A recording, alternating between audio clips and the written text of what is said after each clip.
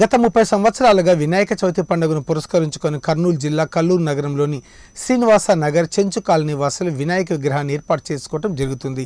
తొమ్మిది రోజుల పాటు అత్యంత వైభవంగా భక్తి శ్రద్ధలతో పూజా కార్యక్రమాలు నిర్వహించుకొని కాలనీ ప్రజలకు ఎలాంటి ఆర్థిక ఇబ్బందులు కలగజేయకుండా అన్ని విధానాలుగా చల్లగా చూడాలని ఆ విఘ్నేశ్వరులను కోరుకోవటం జరుగుతుందని చెంచు రంగన దొర తెలిపారు.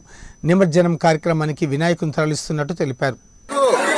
శ్రీనివాస నగరం నగరందు వెంకటేశ్వర దేవాలయం దగ్గర మా చెంచు కాలనీ వాస్తువులందరూ ప్రతి సంవత్సరం వినాయకుని పెట్టాలని చాలా ప్రత్యేకంగా చేయాలని మా అందరూ ఆడపిల్లలు గాని మగపిల్లలు గాని మా గేరు మొత్తం ఎవరు కానీ ఈ రోజు ఏ పని పాటలకు పోకున్నట్టుగా ఈ వినాయకుడిని చాలా ఘనంగా చేయాలని చాలా సంతోషంగా చేయాలని చాలా ఆడపిల్లలందరూ మగవాళ్ళు ముసలోళ్ళు పాయమోళ్ళు ఆడపిల్లలు మగవాళ్ళు అందరూ మా కాలనీ వాసులు అందరూ ఏ పనికి పోనట్టుగా ఈ రోజు వినాయకుడిని చాలా ఘనంగా చేయాలని దేవుడు వినాయకుడు ఈ సంవత్సరము చాలా ఘనంగా చేస్తున్నాము.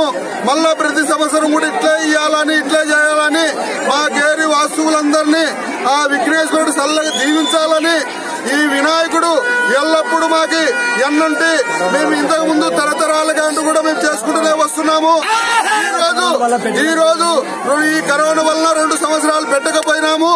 ఈ రోజు ఈ సంవత్సరం చాలా ఘనంగా చేయాలనే ఆలోచనతోనే ఎల్లప్పుడూ మా గేరిని ఆ దేవుడు విఘ్నేశ్వరుడు ఎల్లప్పుడూ మా గేరిని అందరినీ చల్లగా చూడాలని ఆ వినాయకుని ఆశీస్సులు ఉండాలని ఆ వెంకటేశ్వర స్వామి ఆశీస్సులు ఉండాలని ఆ లక్ష్మీ నరసింహ ఆశీస్సులు ఉండాలని ఆ ఉరుకుందిరన్న ఆశీస్సులు ఉండాలని ముక్కువాడి దేవతలు మా గేరిని మా తల్లి పిల్లలందరినీ చల్లగా చూస్తాడని మా చెంచు గిరిజని వాళ్ళ తరఫున ఈ రోజు ఈ వినాయకుడి చాలా ఘనంగా చేస్తున్నాము.